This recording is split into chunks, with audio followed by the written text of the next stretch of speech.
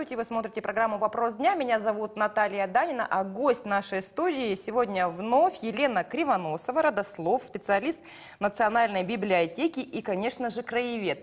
Елена, здравствуйте вновь. Добрый день, Наталья. Елена, спасибо вам большое за то, что вы согласились к нам прийти еще раз и продолжить беседу, посвященную юбилею славного города Черногорска. Елена, мы в прошлый раз с вами остановились на теме водоснабжения. Вот расскажите, пожалуйста, я знаю, что есть такие очень интересные факты в истории развития и Черногорска, и Абакана, которые вы уже в одной из своих работ отразили, насколько я понимаю.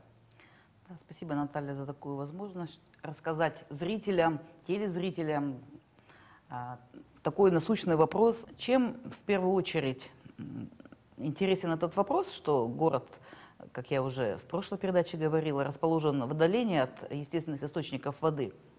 Раньше возили в Черногорск э, воду до 1931 года, она была привозная. В середине 30-х годов зашли в более глубокие водоносные пласты угля, и там уже потребовалась водооткачка, водоотлив и так далее так скажем, с применением уже электрической энергии. А вот именно в середине, начале существования поселка Черногорские копии и вот до 1932 года а, мы можем точную назвать дату, 4 марта 1932 года был запущен Черногорский водопровод. Он именно был забит а, в районе Улуса Подкуня, Подкунинский, то есть это современный угу. Стебакан, и он был протяженностью 8,6 километров. А, в принципе, в, Абака, в Абакане, да, это только в середине 60-х годов появился первый водопровод. А, и вот э, к вопросу о том, что доставляли его именно с Устебакана воду, был такой так называемый в народе паровоз «Кукушка», привозил воду в цистернах, затем водовозы развозили ее по улицам города. И самое интересное, что вода была не бесплатная, покупали талоны, и норматив был... Это в Абакане? В Черногорске. В Черногорске. Я сейчас угу. про Черногорск угу. говорю. Я имею в виду, что 30-летний промежуток отделяет от водопровода создание с Черногорске в Абакане. Угу. Здесь, видите, в городе река, источник воды, а там все-таки угу. засушливая степь. И поэтому вот этот норматив 10 литров воды на одного человека в сутки и 40 литров, если у тебя есть крупнорогатый скот. И люди долгое время вот этим нормативом пользовались. Э, так скажем, и хватало э, хозяйкам даже и постирать, так скажем, белье, и полить там огороды и так далее. Если учитывать, что, в принципе, все современные города, не исключение наш город, в основном заселялся жителями сельской местности, и даже существует такой термин, как рурализация городов. То есть люди привносили с собой сельский образ жизни в города, и поэтому, в принципе, все ну, мы знаем. Обеспечивали других горожан, да? Да, но например? это не тот рабочий класс, который формировался на протяжении нескольких столетий даже в Европе, европейской части России. У нас не было, извините, так скажем, там, ремесленников и так далее. То есть mm-hmm. люди, будущие крестьяне, бывшие, вернее, крестьяне, mm-hmm. приходили на заработки, добывали уголь. В первые годы существования черногорских копей люди приходили только зимой на заработки, а летом они уходили, извините, на огороды свои. На огороды, на покос и так далее. То есть это был вот такой, так скажем, так называемый отхожий промысел. То есть свободное время они уход, приходили на заработки в город. Вахта. Вахта, да, свое, своего рода. И вот именно, ну вот 32 год мы уже имеем водопровод. А, значит, э, его история интересна. Тут приехали а, а, Томский индустриальный институт, специалисты под руководством профессора Коровина. Именно они заложили вот именно водоснабжение в районе, вот как я уже говорила, под Улуса под Куня. Угу. Так. А затем, значит, э, так как в связи с увеличением численности жителей водопотребление возрастало, а затем забили уже в районе Скыровки дополнительные скважины. Уже там было э, до 200 кубических метров э, добывалось воды, но все равно вот читая газеты конца 50-х, 60-е годы, острая нехватка с водой, засоленность почвы, то есть э, вообще соленоватая вода. И вот эта острая проблема, особенно у жителей 9 поселка, а, поселка 8 шахты, 7 шахты, это отдаленные районы города, э, вот она стояла очень остро. И вы знаете, вопрос был решен очень так интересным способом. В 60 году специалистами горводоканала Красноярска была заказана экспертиза.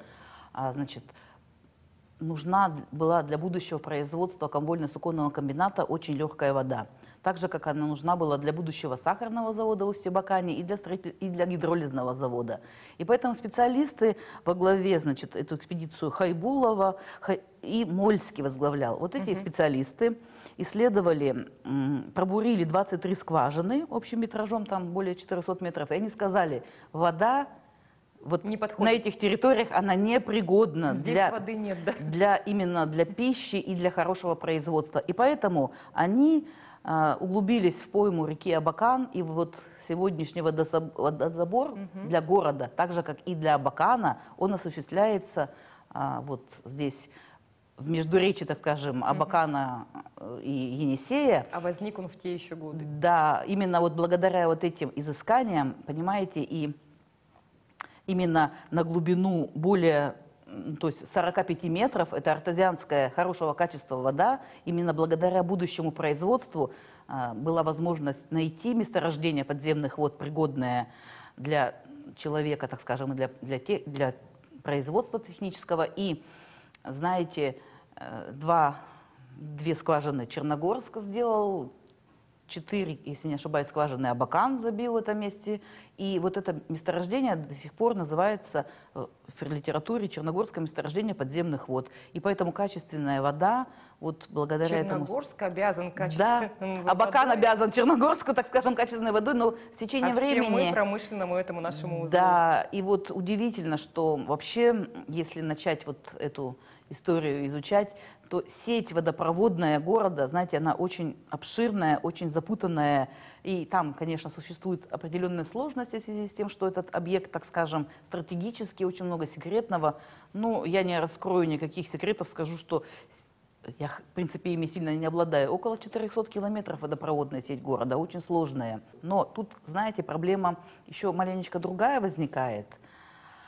В связи с тем, что это искусственный такой привнесенный источник воды, и, и люди, так скажем, септики сливают, поливают огороды, то есть технические нужды используют. Очень много, в связи с тем, что наша почва такая гигроскопичная, очень много попадает в грунтовые воды, в естественные, вот этой привнесенной воды. И поэтому в Черногорске возникает другая ситуация. Под- под- поднятие грунтовых вод. В 1968 году была закрыта водоразборная вот в районе Устья-Бакана. Они прекратили насосы выкачивать воду, и плюс были закрыты шахтные. И вот эта вот дисперсионная воронка, она дает о себе знать. Елена, но вы рассказали о засоленных почвах. Есть Да. еще один интересный факт, что очень многие территории, как раз вот этом, этот показатель на них существует, засоленные почвы. Да, вот это ин- интересный такой Да, термин. да, да. Соответственно, и не, не каждое дерево, не каждое растение может в Хакасии расти. Есть у вас тоже работа, посвященная именно этому направлению. Ну, Я предлагаю вот к нему обернуться. Все-таки историю делают люди, и благодаря людям, каким-то чьим-то решениям, то есть а, город, э, вот и Абакан, и Черногорск, он утопает в зелени. И вот эта вот проблема, значит, э, благоустройства, озеленения, она для наших степных, так скажем, Районов. районов очень хорошо сделано. Знаете, э, началось озеленение в 30-е годы, а потом, значит, это было планомерно. Плюс работало не аграрных, вот сейчас называется не аграрных проблем, то есть вот э, в районе Зеленого, там была исследователь э, Лиховит, она, знаете, районировала около полутора тысяч деревьев только. Вот районировала, это очень То есть- интересный термин, который не всем нашим телезрителям знаком. Я предполагаю, что это как раз а, д- вывела новый вид, да? Нет, она опытным путем сделала возможным то, что будет жить в наших условиях, Вот так. с нашей водой, на нашей почве, в наших условиях климатических, потому что климат резко континентальный никто не отменял, засушливость летних месяцев, особенно май и июнь, никто не отменял. И поэтому, вот знаете, вот сейчас очень много происходит э, слов, вот, по- э, акция по посадке деревьев, особенно хвойных. Понимаете, хвойные – это не эндемик нашего региона, особенно степи уйбатской, извините. Поэтому мало того, что посадить дерево, за ним еще надо и ухаживать. И вот очень примечательный советский именно опыт посадки деревьев. Знаете, только по отчетам за 60-й год в Черногорске было высажено более 18 тысяч деревьев за летний период. Вот какие деревья у нас произрастали на территории города Черногорска? Или Ну, на территории степь? Черногорска вообще Степь ничего не не произрастало. деревьев. да. Кстати, очень большое количество вяза, да, но вы знаете, что он занесен в черную книгу. То есть это, так скажем, захватчик. До 80-х годов вообще в Хакасии не было. А вообще это несколько видов тополей, очень хорошо приживалась Какая акация. красивая аллея на, на улице Советская в городе Черногорске из елочек. А вот это отдельная история, это тоже удивительный факт. Эта аллея была, значит, заложена Германом, фамилия у него Герман, житель города. Ему больше ста лет, он живет сейчас. В э, Германии да. как раз. И вот я хочу сказать, что именно он был инициатором посадки этой аллеи. И она удивительная, но опять же, как специалисты говорят, она требует, она может погибнуть.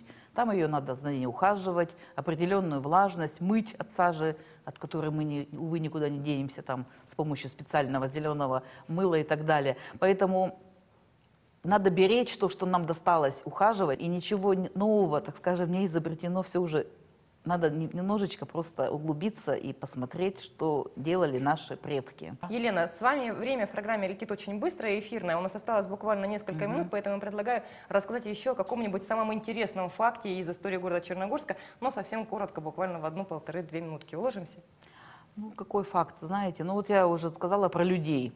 Ну, вот, э, вот этот, знаете, всегда вот, этим, вот этой даже передачей хочу переломить э, э, мнение обывателей, да, о городе, который, ну, что уж греха таить, все многие называют Чикаго, да, ну, есть налет у нас вот этого криминальности, но мы, так скажем, не виноваты в этом, виновата система. Когда-то с помощью, извините, этих заключенных, которые в системе города, А которые оседали в городе. да, они оставались. оседали в И так называемая маргинализация населения, да, потом это химики. Они, конечно, дают о себе знать, но, в принципе, э, вот город, он как котел, он перемалывает своим таким, знаете, суровым рабочим нравом. Он многих людей... э, но были же и положительные у нас моменты. И вот это положительное качество, они до сих пор... а, давайте возьмем область культуры, возможность образования, какие у нас был какой дворец пионеров, кузница, так скажем, развития творческой молодежи, а, где вышли очень хорошие хореографы. Возьмем знаменитую эм, хореографа Манькину. Манькину, Кислицыну. Это, знаете, Российские школа. известные имена. Это выучились, так скажем, их дети уже все служат на, на благо, так скажем, культуры нашей не только там, региона, республики, они уехали и за пределы. То есть вот это, так скажем, знамя в хорошем смысле культурного такого опыта города, он тоже немаловажен. Но также у нас что мы можем из положительных взять, ну, кроме культуры? Го- э, специалисты горные, это же тоже определенный э, пласт интеллигенции. Это специалисты, оканчившие Иркутский горный институт, Ленинградский горный институт, Амичи. То есть это тоже определенный род такого прослойки интеллигенции, которая работает на многих предприятиях, ученики.